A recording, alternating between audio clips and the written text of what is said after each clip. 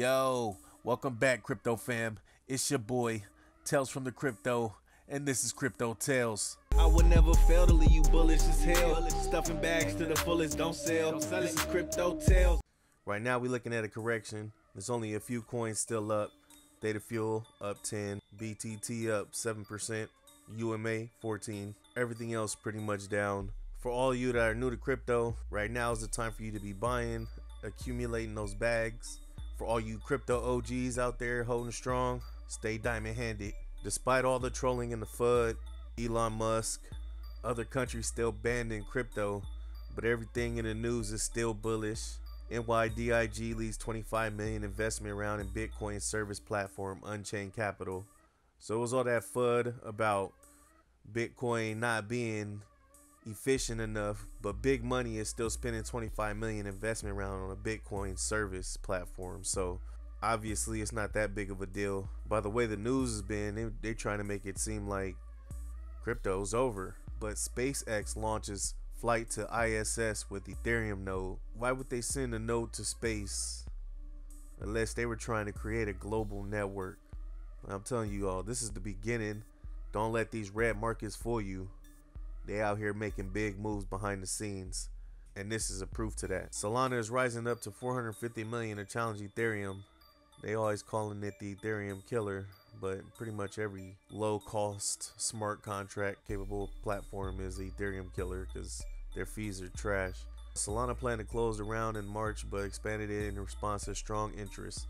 The Upstart blockchain has a focus on dApps as a potential rival to Ethereum.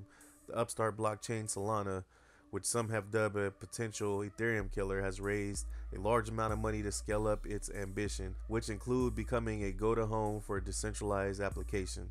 According to multiple sources, some of whom spoke on the conditions of anonymity, Solana is raising between 300 million and 450 million. Decrypt was unable to obtain a precise figure, but learned that the company had intended to close a smaller round in March, but then expanded the scope of fundraising in response to high demand. I'm excited and impressed to see the recent growth of Solana's business. They've had industry leading tech for a while and it's gratifying to see reality catching up, said Sam Bankman Fried, a prominent crypto entrepreneur whose firm FTX launched a decentralized version of his exchange on Solana last year. Jack Dorsey outlined Square's tentative plans for Bitcoin hardware wallet. But like I said earlier, there was all this FUD about Bitcoin and all this and how it's not eco-friendly and how they're cracking down on it, but yet Square outlines a tentative plan of Bitcoin hardware wallet. And I think what it is is these banks want to hold your bag for you. They don't want you to have your own keys. They don't want you to have your own private solution. So that's why they're starting to build custody. They're starting to create ways to get your crypto in their pockets so they can follow all the money. Um, and I feel like eventually, uh, when regulations come out, they may have um, some not so good news regarding uh, people's private keys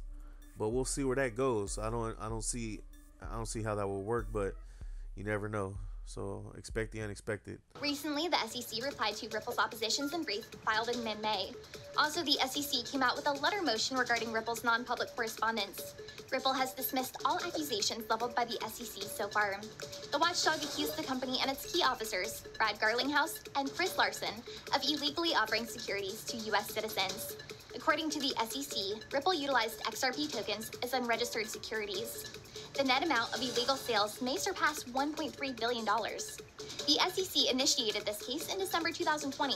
This case dragged on for half a year, and Ripple has already made significant advances. The judge partially granted Ripple's motion to compel the discovery of documents related to XRP, Bitcoin, and Ethereum. Meanwhile, she denied Ripple's motion to prevent the SEC from requesting documents on the case from foreign securities regulators. Ripple Inc. is well known for its unmatched lobbying activity. In the last few months, it hired a number of top tier executives from Uber, Goldman Sachs, and Amazon.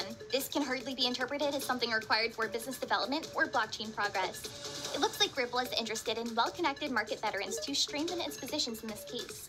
The example of Tether showed the entire crypto segment that nothing is impossible, however serious the charges. The company is still supported by the most passionate and aggressive community in crypto, the XRP Army.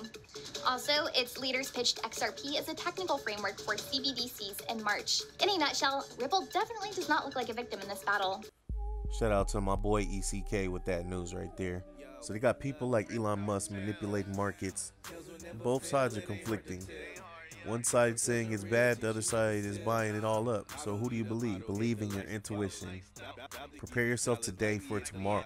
You'll be kicked back on the island, surfing on a jet ski. But this is a quick video. I just had to get some content out there. I've been real busy lately, but I appreciate all of y'all. I appreciate all my new subscribers. Hit the like and subscribe. Let your friends and your fam know that Tales from the Crypto's here and I'm doing videos for y'all. And I'll catch you on the next one. I'm out. And you gon' get rich.